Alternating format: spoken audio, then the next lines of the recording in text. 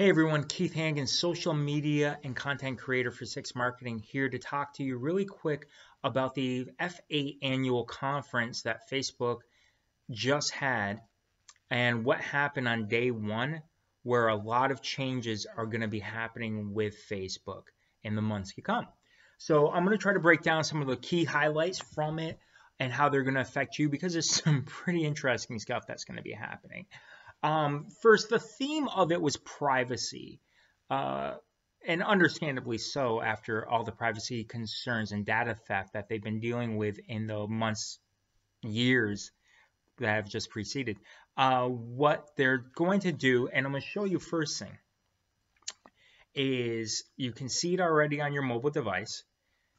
They've shifted to a now white theme that isn't just because of rebranding that they're trying to get out this image that a lot of people have, and justifiably so, of Facebook and negativity with their blue logo and things of that nature. But it's also for navigation. And this is going to lead me to point number two, and this is the second major theme of the entire conference was community. Um, I don't know many of you, um, if many of you realize this. A report came out about a year ago where they discovered that Fox News was actually the one getting the most engagement with their posts.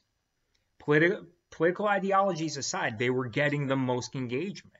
And the reason was is because of their divisive content. They realized it. Uh, and a story came out and another story came out and Facebook had to address it and how their algorithms worked and things of that nature. But it was still the fact that divisive content was the content that the majority of people were engaging with. And if those of you who do not know, and it's pretty simple to figure out, when you're creating a post for any business, the number one goal is to get engagement. You want to get as many people as possible to not only click, but to react and to comment, and then that'll hopefully lead them to do other things as well and ultimately buy your service or good from your company. So what has just happened was they're now making it more group based.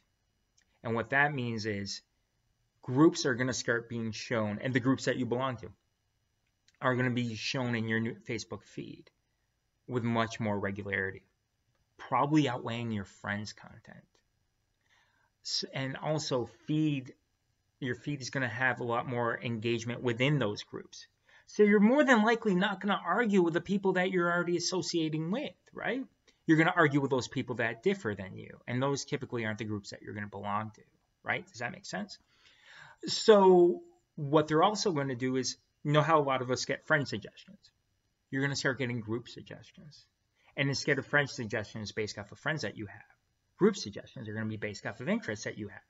So if you're interested in mountain biking and you belong to Trek mountain bike group or whatever type of group, they're also going to say, hey, we noticed that you like this. What do you think about this? And so you can be part of more communities because they want engagement and they want to bring people together, the opposite of divisive. The last one I'm going to go over is, I don't know. I, I'm a little creeped out by this. This is, and I'm going to put personal testimony aside, is Facebook dating uh, Facebook dating is going to be essentially, I think, a portal or a tab, and you got to opt in into the group. And by opting in, you now will be able to create, I believe, up to nine secret crushes. So, nine of your friends that you may or may not, you may have a crush on, you list them as a secret crush. Now, if that friend happens to also join and opt in to Facebook dating and they create their list. Now that friend who you just secret crush, by the way, really quick to go back because I can't tell a story and they're near, is going to be notified that, hey, a friend has a crush on you. If that friend who you have a crush on crushes back on you, then you're going to be notified that, hey, like Tinder or Bumble, you guys swiped right for each other. And that's that.